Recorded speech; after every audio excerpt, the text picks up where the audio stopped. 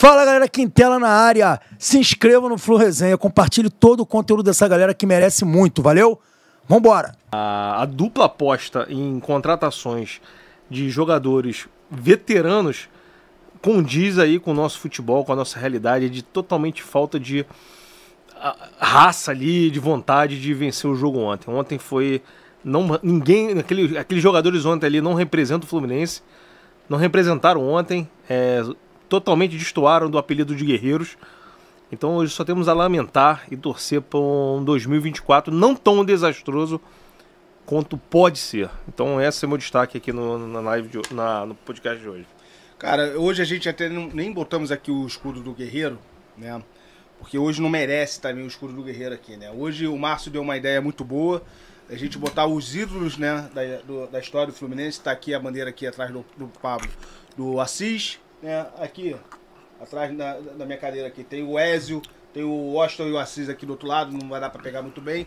E tem uma bandeira que reflete muito aqui também um momento quando a gente está com sufoco, né, que é a benção João de Deus. Então, esses ícones aqui representam, né, principalmente os jogadores, representam a, a garra né, do jogador do Fluminense, a garra que o Fluminense tem.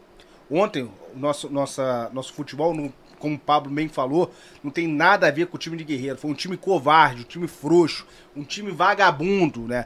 Mas antes de eu começar a falar, a gente começar a falar do jogo aqui, eu quero deixar aqui um abraço para todos os tricolores que foram lá para Minas, mais de 3.600 tricolores representando a camisa do Fluminense, né? Esses sim são guerreiros e esses sim merecem respeito. O respeito que a polícia de Minas não deu para os torcedores do Fluminense. Né? o respeito que a gente sabe muito bem, né, que as polícias de fora do Rio tratam, né, as torcidas do Rio, no caso aqui o Fluminense, nossa torcida, quando tá fora. Porque querendo ou não, galera, carioca quando vai para outro estado é mal visto pra caramba na grande maioria das vezes. E o reflexo é isso aí. Quando a gente vai para São Paulo, a gente passa perrengue. Quando a gente vai para Minas, principalmente para Minas, a gente passa perrengue. A polícia de Minas é totalmente despreparada, incompetente, né, para cuidar no, no, de grandes públicos. E ontem tivemos vários relatos. Teve quebra-quebra da torcida do Fluminense que a gente aqui na mesa reprova, né? Nós reprovamos isso. Mas segundo relatos, o quebra-quebra começou justamente por causa da truculência da Polícia Mineira. Então fica aqui registrada a minha revolta, a minha indignação com a Polícia Mineira, né? Que esses caras são totalmente incompetentes, não vou generalizar, eu não gosto de generalizar, né? Sou totalmente incompetente. Fica aqui meu abraço, minha força, minha, minha consideração por todos os tricolores que tiveram lá presente. Que sim, esses são guerreiros. Os jogadores de campo, Mano Menezes, esses caras não merecem vestir a camisa do Fluminense. Isso, eles não sabem o que, que é ser Fluminense. A torcida que estava lá presente sabe o que, que é. E é isso aí, galera. Bom, deixa eu dar meu relato aqui, é, dando um apoio aqui ao que o Ivo falou. Isso aí só é mais um retrato da nossa sociedade. Né? Sociedade doente, né, que abraça a violência. Eu que sou de uma época que a gente comprava ingresso junto, subia a rampa junto, né, e a partir de, de, da década de 90, infelizmente, começou essa brigalhada toda entre torcidas, generalizada entre polícia e torcida. Isso é um reflexo que afeta a PM, afeta todo mundo. Entendeu? Então, nada mais é do que um reflexo de uma sociedade doente, essa, essa violência e, com crianças, com mulheres, é um negócio terrível. Agora, falando do jogo aqui, é, o Mano ontem entrou, o time ontem entrou. É, acho que a gente só pode livrar a cara ontem do Fábio, né? Sim. Talvez um pouquinho do, do Thiago Silva no início do jogo. E o Thiago Santos também não foi tão mal assim. Né? Eu acho que o Thiago, Santos, o Thiago Santos também fez uma partida razoável. Desculpa que eu tô nervoso, tá, gente? É porque realmente esse jogo ontem me, me tirou do sério. E o Mano ontem não soube como corrigir o time. Tá? Chegou um dado momento do jogo que ele, ele o Scarpa livre, fazendo o que queria uhum. pela direita. Sim. Você não tem dois laterais que só marcam a distância, só marcam com os olhos. Nitidamente hoje, o Bernal, que eu acho um excelente jogador, ele sentiu, ele e o Serna sentiram o jogo, erraram praticamente tudo ali, né? O, o Ganso muito mal, o Arias escondeu do jogo totalmente, né? O Arias ainda deve estar com calma ainda, né? Ele tá calmo, né? O Arias, lembra do jogo contra o Juventude? tá calmo né? Que eu falei isso no outro podcast contra a juventude. Então, e o, o que que fez o, o, nosso amigo Mano Menezes? Ele me tira o único jogador de escape, não estava bem, mas ele me tira o único jogador de escape que tinha, que era o Serna, me bota um outro zagueiro. Tá? Quer dizer, chamou mais o Atlético Mineiro para cima do Fluminense. E em dado momento, chegou-se quase a colocar o Manuel, né? E, e, e depois ele desistiu Ia, íamos ficar com quatro zagueiros, é. né? Colocou o Cano, que não era o centroavante para entrar ali, né? Porque se você precisa de um jogador para prender a bola na frente, quer dizer, não tem. Ali tinha né? que ser um famoso centroavante. Né? Isso né? que eu e o Ivo a gente bate tanto nisso, né, Ivo? Tempo Quanto todo tempo que a gente não bate isso, né? E tomamos dois gols no centroavante clássico que eliminou a gente, que não é nenhum Brastemp. Não é, eu falei, eu falei aqui um tempo atrás, quando o Davidson ainda estava no, no Cuiabá, que a gente já estava batendo nessa tecla aqui, pelo menos aqui no programa, eu e o Márcio, que a gente precisava no centroavante, eu até dei o exemplo do Davidson. Sim, você que comentou. É, pô, o, Davidson, o Davidson não é lá essa escolha, mas é um jogador decisivo, um jogador que tem história. Tem estrela. Tem estrela, na verdade não é história, tem estrela. Né? Haja visto com Palmeiras contra o Flamengo. Né? Exato, né? e haja vista o que, que ele fez ontem. Exatamente. Entendeu? Ele entrou e decidiu. É. A gente não tem um jogador com a característica dele. Bela cabeçada, o cruzamento Pô. também foi muito bom. O que o Scarpa jogou ontem, ele deitou e rolou. Cara, eu vou ser bem sério, não, não, não tirando o mérito do Davidson, mas, cara, os dois gols que ele, que ele fez, cara, primeiro foi falha do Thiago Silva. Sim. E não ver ele indo por trás. Sim, sim, sim. Totalmente sim, falha. Porra, ali, cara, não digo nem pelo jogador, é posicionamento. Sim, sim. E mais, ali eu acho que é mais erro da defesa do que mérito do, do é, atacante. Erro do Thiago Silva, não Entendeu? foi do Thiago Santos, que a bola foi é, do Thiago, foi do Thiago Silva. Silva. É, pra o... mim, a bola era defensável. A bola era defensável, tudo bem. Porra, o Fábio tem crédito. Desviou, não, desviou, mas tem um tá desvio, foi. É, tem um mas desvio, foi, cara, matou ele. Porra, mas foi muito em cima dele, brother. Não, mas eu não posso falar do Fábio. Mas tipo né? assim, não, não pode, é, eu não tô, eu não estou culpando o Fábio é. do gol. Pra mim a culpa é 100% da zaga. O Fábio, beleza, desviou ali e tal, tranquilo, tá, agarrou o pênalti, um gol de goleiro, não tem problema. Agora, a cagada do segundo gol começa na perda de bola do Martinelli, fica aquele bola a bola lá, deixa o Hulk cruzar sem tensão nenhuma de encontrar alguém, que você pode ver que a, o cruzamento foi a culha para a área, e o Antônio Carlos protegendo a bola para alguém cortar. Antônio Carlos e Samuel Xavier. Não, não foi o Antônio Carlos. Antônio Carlos e Samuel Xavier, os dois estão errados na jogada. Não sei, mas tipo assim, a bola, você pode ver nitidamente na imagem que o Antônio Carlos ele meio que faz aquela proteção de zagueiro pra bola passar. Tá, pro, tá protegendo o Davis. É pra, isso pra, aí, pra, cara. e o cara, é. porra, eu acho que foi. É, ele calculou o tempo de bola ali, chegar ali de fundo, sei lá, mal, não viu o Davidson também. E o cara foi lá empurrar a bola. Entendeu? Então você vê assim, não tirando o mérito do Davidson, que, porra, malandro, foi lá e fez os gols.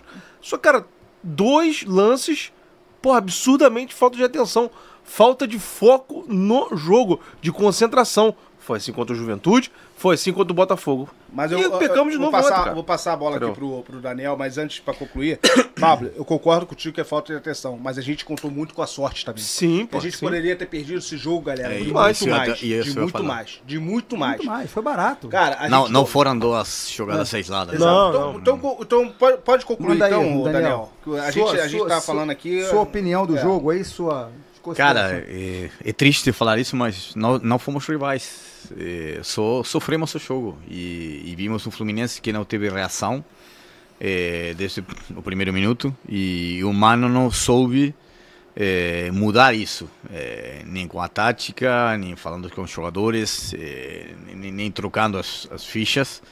Achei também estranho que os, as mudanças fossem todas ou quase todas eh, defensivas. Acho que o único ingresso ofensivo foi o do Cano, mas foi peça por peça.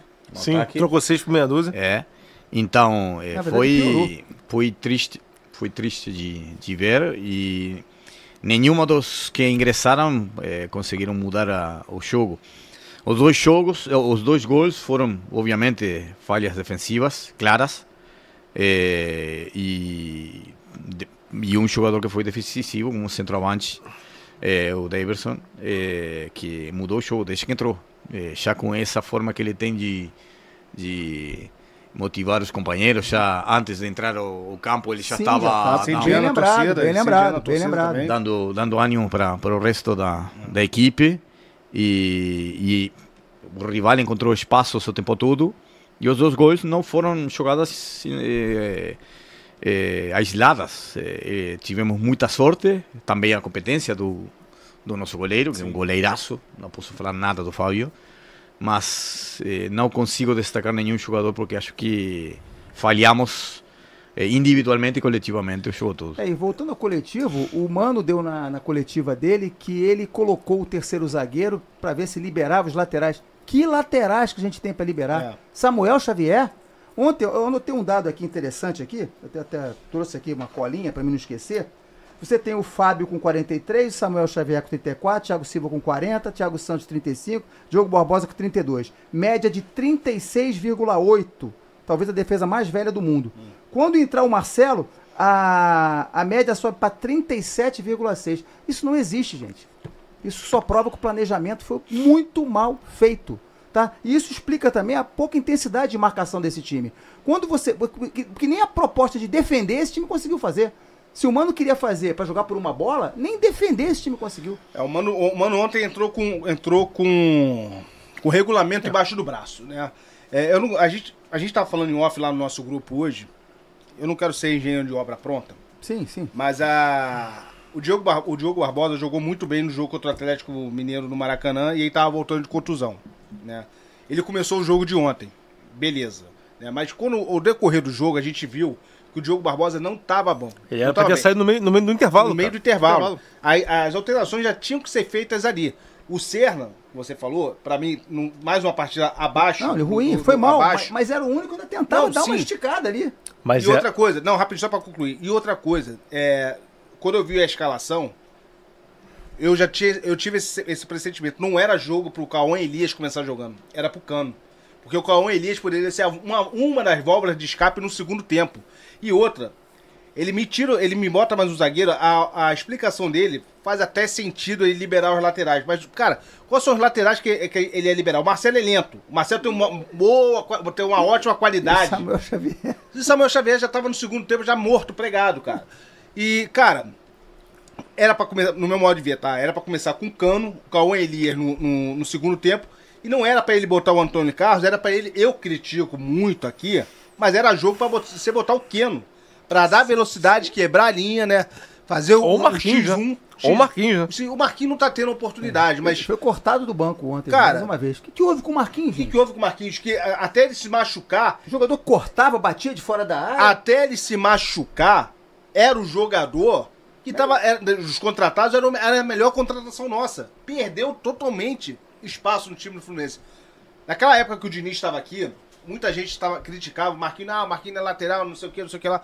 Irmão, o Marquinhos de lateral direito tava fazendo boas partidas, tava jogando melhor do que o Samuel Xavier. Quebrava um galhão. Quebrava um galhão, entendeu? Quebrava um galhão.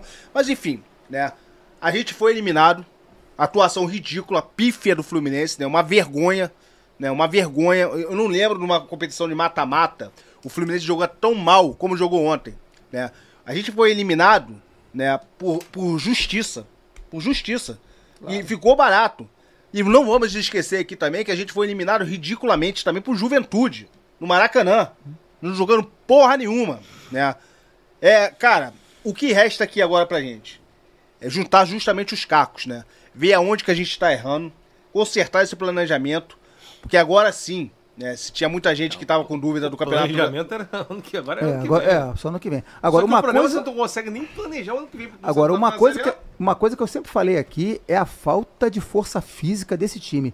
Cara, não é só força física, não. É a condição física também. É disposição, cara. Cara, disposição, os caras não correm, cara. Não, não, não, não, compete. O Atlético ontem parecia que tava jogando com 15 em campo. Eu só. Eu a só... Sobra, pegava sobra de bola. Todas. É, cruzamento na área, tudo, irmão. Eu só discordo, tudo. eu só discordo uma coisa do, do Márcio, em relação que ele, quando você falou do Arias, né?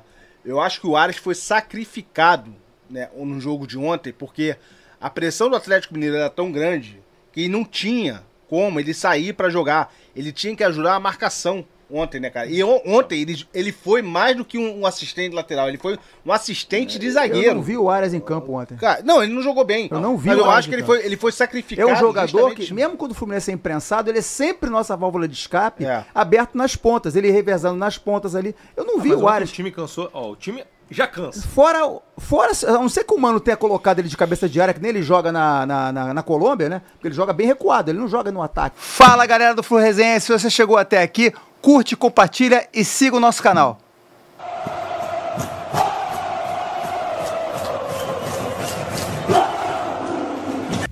Uma produção